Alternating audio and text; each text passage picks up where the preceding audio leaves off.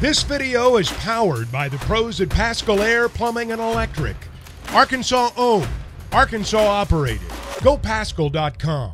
We got Bob Holt finally with us today. Bob, vacation. What? How was it, man? What you up to? Uh, it, was, it, was, it was a lot of fun. I was visiting some friends in the Lexington area. You know, I've been there for work a lot, but um, hadn't been there just to, you know, uh, on vacation. There's a lot of stuff to do in the area, so it was, it was a nice time. We were uh, Phil, Phil and his uh, his family was on vacation. They were doing a little fishing, so we were kind of seeing what kind of activities, what what kind of activities Bob Holt do on on vacation. Well, in this instance, um, I went to the Louisville Slugger Museum one day. I'd never, Nice. I'd been to Louisville, but never did that. That was pretty cool. And, and within I don't know about three blocks, they have the Muhammad Ali Center, which is basically a museum devoted to him. So you can knock those two out, you know, going to Louisville. And I went to a horse, like a third,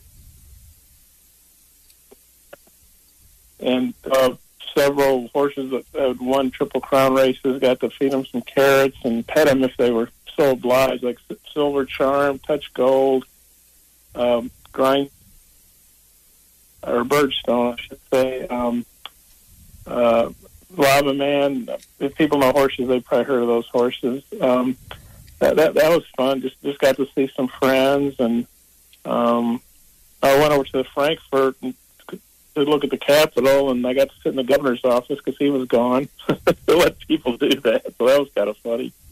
And just really enjoyed. It's beautiful scenery there with the horse farms and just driving around, and it was just fun to go there not have to work. You know. Ab- abs- absolutely. I always say that Kentucky game um, whenever I was, uh, I believe I was a junior, and uh, that was the the best field I ever played on in college. And and now Kentucky has field turf. They don't even have grass, but the Bluegrass State. Uh, it's it's very surprising. Bob, have you seen any of this summer league ball ball and, and seeing Jordan Walsh go off? What are you thinking as Razorback fans? Do we think we kind of missed out on one, seeing Nick Smith and seeing Anthony Black all kind of just doing their thing in the summer league? Yeah, I have watched so- some of the summer league games. I mean, there's not a ton of stuff going on, especially during the All Star break. There, there's no baseball for a few days. Yeah, I watched Orlando play last night and saw Anthony Black uh, play, and um, I think it was Adis Tony's playing for him some too, and I saw Walsh play. And they've got like four games on every night. But yeah, I mean, you know, obviously Nick Smith was never really fully healthy, and you know, fully sharp as he would have been if he had missed all that time and you saw him go off for 33 the other night. I get it's the summer league. They're not, not the playoffs, but still, I think that gives uh, people a taste for what he's capable of doing. And, and yeah, if you could have had a healthy Nick Smith all year and a healthy Trevon Brazile, I mean, who knows what Arkansas might have done. Maybe the Sweet 16 would have still been the extent of what they could do. But I thought that they rallied late, had a had a strong finish to the season. Anthony Black obviously was one of the best all-around players in the country. That's reflected by him being picked so high, and I think people understand the potential Nick Smith has, and that's why he was still a first-round pick. And, and Jordan Walsh was the top 38 pick, even though his stats weren't eye-popping. But you know, he can play defense and rebound. And he scored pretty well the other night. I know from reading some stories, he really worked hard on his jump shot, and so. Um, yeah, people can wonder what if if all those guys had been on top of their games and healthy, but um, that's one thing that in this day and age, you get the one and done guys, you don't get to enjoy them real long at the college level because they're gone pretty quick. Bob, with the on vacation deal, that's I, so I think the reason why Phil Elson has you on this show this is Clay, by the way. Um, yeah, I, I, um, y'all are cat people. So what happens to the cats when Bob Holt is gone for like ten days or whatever? well, I have, I have somebody check check on them. Um, fortunately, down, down down to one cat now, but um, yeah, I have a, a friend who comes in and checks checks on him every day. Checks on Freehan now every day, and make sure he gets his wet food and has all his water and get get, get some attention. Has clean litter. And cats are very they like their litter boxes clean. I guess just like people like their bathrooms clean, right? So, um, yeah, I, I'm not one of these people that like just leaves the cat alone for a week or some. I mean, they they'd probably survive, but I don't think that that's very good for them. So do you think cat people and dog people are different? I don't know. I mean, I, I like both animals. Uh, the reason I have cats well, we always had cats when I was growing up. One, my mom really liked cats. My dad honestly did not care for them that much. I didn't realize that when I was a kid.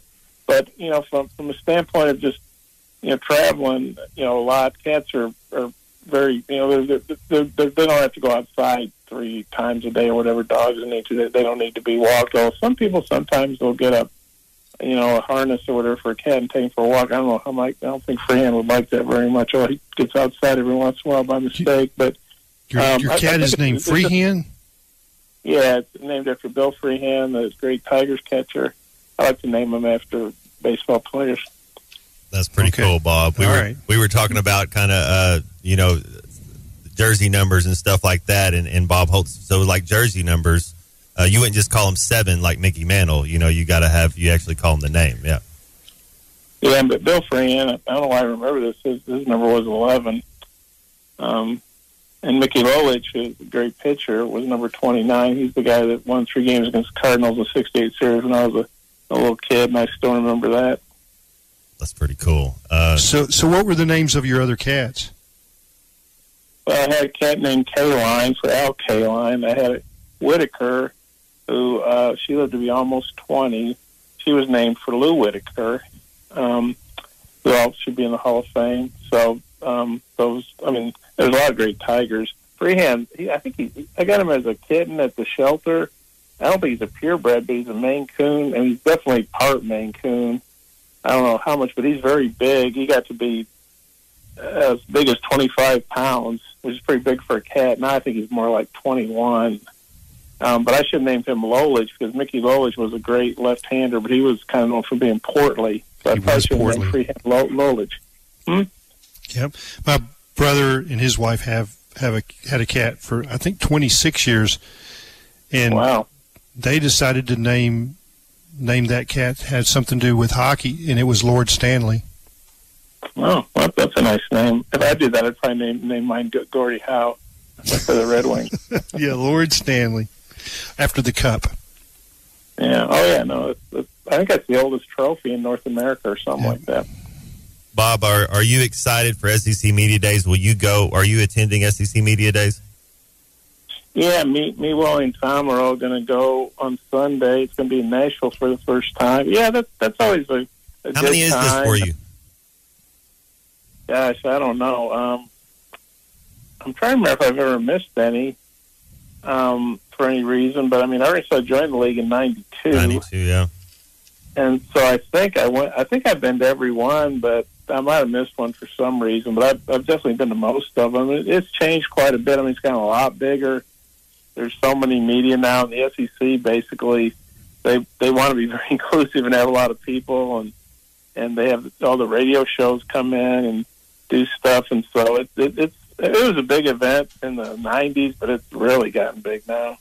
It is a production. That's uh that we we got the three hogs going. What what are you are you are you interested in just talking with them or are you interested in talking with uh what some other coaches or some other teams, you know, are you inter- is Bobby Petrino going to be there? Uh Hugh Freeze at Auburn. Who who are you kind of more more interested in talking with? Well, I don't think Bobby's going to be there. It's just it's the head coaches and three players. It used to be two players, but they upgraded to three.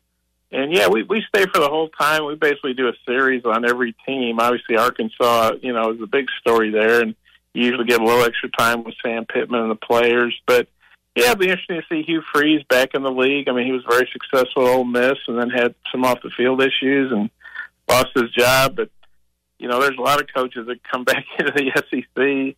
You know, Nick Saban's, uh, you know, from uh, LSU, Dolphins now down at Alabama, and you got uh, Lane Kiffin who was at Tennessee, now he's at Ole Miss, and of course Houston Nutt did Arkansas and Ole Miss. Tommy Tuberville, another Arkansan, did did Ole Miss and Auburn. So I'm definitely interested to, to kind of see about Hugh Freeze. It'll be interesting to ask Jimbo Fisher about the, dynamic between uh, he and Vi Petrino because Vi Petrino's you know, was brought in to fix that offense, which was not very good last year. And you feel like the Aggies have a lot of talent. Talent's usually not an issue for A and M. It's, it's maybe getting that talent to execute the way they should.